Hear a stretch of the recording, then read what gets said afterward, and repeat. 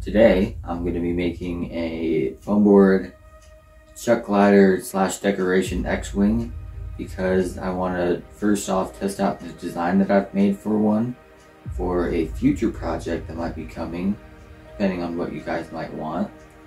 Um, and two, because I want it in my room as a decoration. So we're going to go ahead and start that. So basically what I'm doing in this clip is 3D modeling the actual X-Wing in Blender. Uh, this is just so I get the right shape. So I found a 3D model of an X-Wing online, uploaded it in Blender, and then 3D modeled a cube to look like it, and split it and stuff. It's pretty simple, it just doesn't, it doesn't take that long. And then I export that as a paper model, and then I go into this other online software called Gravit, which you'll see right now. And I just kind of start taking all the pieces and I shape them and put them together in the way that I want them to be that it makes it easier to put it together and stuff.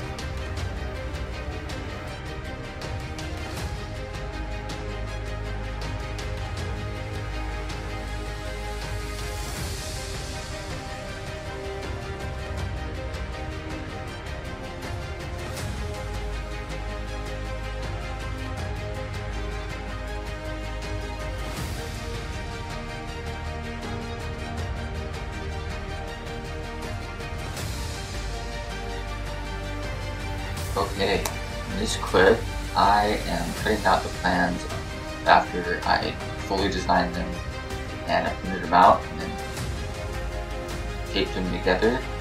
Now I just cutting it out of the foam board. And then what you do after that is all the little scored lines that you cut before, you open them up by dragging the barbecue skewer through it.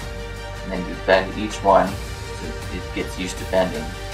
And then you just kind of glue it on the seam so that it's almost a cylinder and then you just do that for the next one and the next one and then you glue it on glue each piece that's not connected by the registration marks that will be in the plans.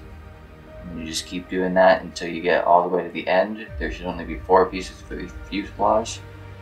And then after that you're going to take the cockpit which will show up in just a second it's almost the exact same process. You just grab it, open up the score lines, and then glue it together. You glue each like row of pieces together, and then that should form the cockpit, and then just glue it where it should go. And now this is the nose cone. It's the exact same process as the fuselage, just smaller. You just kind of repeat the same process, glue it all together, bend it, open it, glue it together, and then it should just slide over the front. The it the um, the curve that is in the nose cone, when you're looking at the plane from the left side, it should look like it's it should look like an exponential equation that is going to the left and is positive. If you know what that means, if not, just look at the thing the pictures and stuff and kind of just figure it out. It's not that hard. Just look at reference images and it, will be fine. Um, now I am gluing the wing in and all you do for that is line the slots up, glue them in, put them together and then it should be able to just bend. So then you just flatten it, push it all the way through, bend it back out, glue it in. Now you're going to take the poster board pieces the one that is, I believe, six and a half by four, you're going to glue it along the long end, so then it should make a really small cylinder. And then the one that I believe is seven and a half by five and a half, I think. Um, you're going to glue that one along the short end, so then it should make a big tube. And then what you do is you line them up, and then you mark where the smaller tube um, goes farther than the bigger tube and you mark it there and then you glue it in at that line so then it's sticking out the exact same amount as the bigger tube. And then you just glue them on. It's it's pretty simple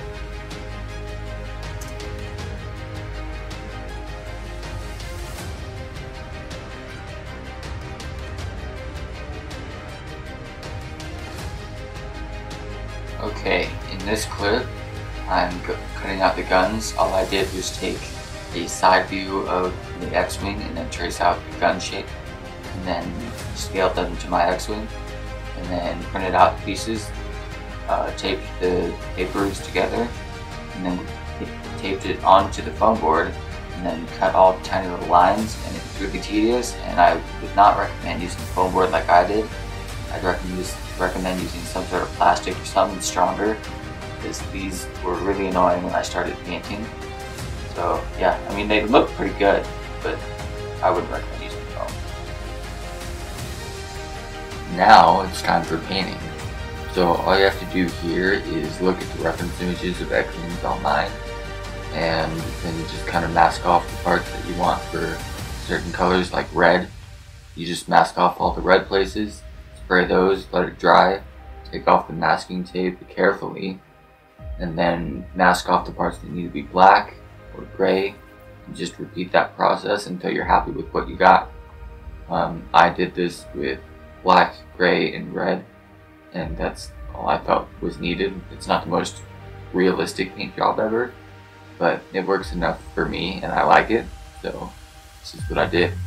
And then after all the paint job stuff, Uh, all I, all I did was take the gray spray paint and the black spray paint and hold the X-Wing like at arm's length, length away from me and then lightly dusted the whole thing to make it look kind of like weathering and I really like that effect.